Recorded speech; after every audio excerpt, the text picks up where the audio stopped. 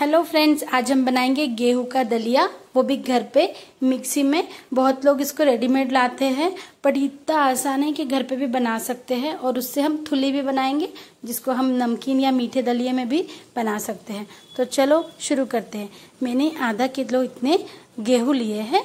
उसको हमको अच्छे से पहले पानी में धो लेना है, जिससे मिट्टी साफ़ हो जाएँगी। फिर उसको सुखा देना है।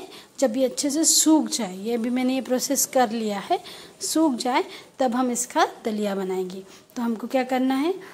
इसको लेना है मिक्सी में। अब मार्केट से जो थुली लाते हैं, क्या पता वो गेहूँ धुले हुए रहते हैं कि नहीं? पर हम थुली तो धो नहीं सकते, इसलिए घर पे बनाई हुई थुली कभी भी बढ़िया। तो मैंने आधे गेहूँ मिक्सी में डाले और मिक्सी को हल्का सा थोड़ी देर तक के शुरू बंद करते हुए, देखिए, बंद शुरू करते हुए आपको इसको पीसना है। थोड़ी देर, ज़्यादा देर नहीं, दो से चार मिनट बट बंद शुरू करते हुए थोड़ी देर पीसना है, ठीक है? उससे क्या होगा, आपके गेहूँ के कुछ गेहूँ बारीक हो जाएँगे और कुछ गेहूँ मोटे ही रहेंगे और कुछ गेहूँ एकदम बारीक हो जाएँगे जिससे पाउडर फॉर्म में। तो उसमें कोई चिंता की बात नहीं है। देखो, अभी हमारा ये इस तरीके से मिक्सचर रेडी हो गया। इसमें कुछ बारीक दाने हैं, कुछ बारीक एकदम पाउडर है। अभी हमने जो गेहूँ छानने वाली चलनी है, वो यूज़ की है। तो इसमें से क्या होगा, हमारा दलिया और हमारा आटा जो है, वो छन जाएगा और ऊपर जो रहेंगे, वो रहेंगे मोटे और आधे गेहूँ। जो ज़्यादा बड़े हैं, वो रह जाएँगे ऊपर। तो देखिए, ये इस तरीके से रह गया। यही प्रोसेस अब ये जो गेहूँ बचे हैं, इसको और हम मिक्सी में डाल देंगे और साथ ही में क्या डालेंगे हमारे? जो बचे हुए गेहूँ थे वो। ये देखिए, ये थोड़े जाड़े ये जो दलिया है, उसमें से थोड़ा मोटा दलिया रहता है। बट अब ये नीचे जो आया ये है हमारा परफेक्ट दलिया है, ठीक है? तो अब ये जो गेहूँ थे, इस गेहूँ को जो ऊपर बचा हुआ चूरा था, उसको हम फिर से मिक्सी में डाल देंगे और बचे हुए हमारे जो गेहूँ थे, वो भी डाल देंगे। ठीक है? आपको ये प्रोसेस को फिर से दोबारा करना है, मिक्सी का, और वापस से छान लेंगे इसको। और हमारा छानने के बाद क्या रहेगा? नीचे आ जाएगा दलिया और बारीक हमारा आटा बन जाएगा। तो ये जो बच गया, इसको आप वापस से कंटिन्यू कर सकते हो मिक्सी में घुमाकर। अब मैं इसको साइड में रख दे रही हूँ अभी। ये अच्छे से छन गया है। ये थोड़ा मोटा वाला गेहूँ है। ये गेहूँ भी नहीं है पूरा और दलिया भी नहीं है, बीच वाला है, ठीक है?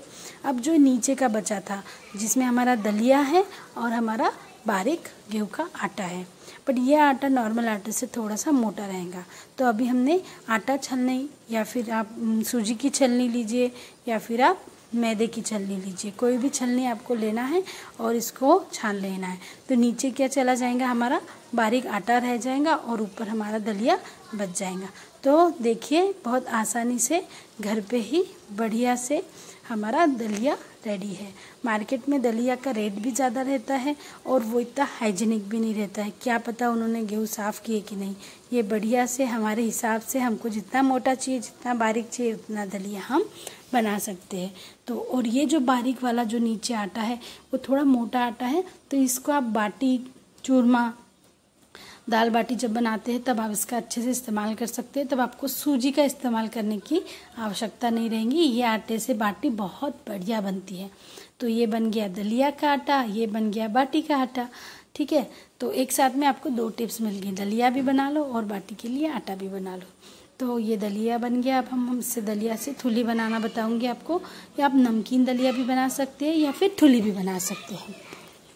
आटा है, वो आप कैसे भी इस्तेमाल कर सकते हो। हम थुली हमारी बहुत ही अच्छी बन गई है। आप भी ये थुली बना के देखिए, दलिया बना के देखिए। अच्छा लगा तो बताइए। तो आप शुरू करते हैं नेक्स्ट हमारा थुली बनाने का। तो सिंपल सी नमकीन बनाइए या मीठी बनाइए एज यू विश मैं अभी मीठी बनाऊँगी। मीठी में आप नमकीन भी बना सकते हो। डेढ़ कटोरी हमने दलिया लिया है, जो हमने बनाया है। उसमें मैंने अभी दो से तीन चम्मच हम घी लेंगे। शुद्ध देसी घी में हम दलिया बनाएँगे। पौष्टिक रहता है। काफ़ी घरों में जो बुढ़े इंसान रहते हैं, उनके यहाँ रोज़ ही ये दलिया बनता है या फिर कोई बीमार हो गया है तो उसके लिए बना सकते हैं। हमें तो वो ऐसे ही पसंद है। रामदेव बाबा बोलते हैं कि दलिया और जो मोटा अनाज होता है, वो खाना चाहिए। वो पौष्टिक भी होता है हेल्दी भी होता है और पचने में भारी भी नहीं होता है। तो उसको हम अच्छे से मीडियम फ्लेम पे भून लेंगे। हल्की धीमी धीमी खुशबू आ रही है गेहूँ के भूनने की और थोड़ा सा गोल्डन हो गया है, ये देखो दलिया। तो इतना आपको भुनना है इसको। अच्छे से भुनने के बाद हम इसमें डालेंगे स्वादानुसार नमक। मैंने एक से सवा चम्मच इसमें डाल दिया है नमक और हम इसमें अब पानी कितना डालना है? तो पानी इतना डालना है, चौगुना पानी डालते हैं, दलिया वलिया बनाते हैं। तो डेढ़ कटोरी हमने दलिया लिया तो हम छः कटोरी इसमें पानी लेंगे। तो छः कटोरी पानी डाल के इसको हम अच्छे से पहले पूरा पानी बॉईल होने तक के चलाएँगे थोड़ी देर और उसको अच्छे से गर्म होने देंगे पूरा। जब तक कि कुकर मत लगाइए, जब तक कि एक बॉईल नहीं आता। जैसे ही एक बॉईल आ जाएगा, तब हम इसका कुकर का ढक्कन लगाएँगे और इसको मीडियम फ्लेम पे तीन से चार सीटी आने तक के इसको पकाएँगे। अब इसको हम लगा कर पकाएँगे और जब ये पक जाएँगे, ये देखिए अभी तीन से चार सीटी आके कुकर अच्छे से ठंडा हो गया अभी हमारा दलिया रेडी है। तो काफ़ी लोग इसमें मसाले डाल सकते हैं, जैसे हल्दी मिर्ची डाल के, नमकीन दलिया वेजिटेबल दलिया मैंने ऑलरेडी आपको बताया है डिस्क्रिप्शन बॉक्स में उसका लिंक भी दूँगी। वो मैंने पौष्टिक दलिया बताया था, जो रामदेव बाबा का रेडीमेड मिलता है। ये हमारा घर का दलिया है। इसको हम बढ़िया से घी और शक्कर डाल के खाते हैं गर्मा गर्म बहुत ही स्वादिष्ट लगता है। बीमार को क्या सबको पसंद आता है। हाँ बीमार लोग ज़्यादा खाते हैं, इसलिए उनको कम पसंद आता है but it is too yummy आप एक बार ट्राई कीजिए और घर पे दलिया बना के देखिए। अच्छा लगा तो कमेंट कीजिए मुझे और अगर मेरी ये रेसिपी अच्छी लगी तो प्लीज़ लाइक कीजिए। And thank you for watching फिर मिलेंगे ऐसे ही यूज़फुल वीडियो के साथ में आपको।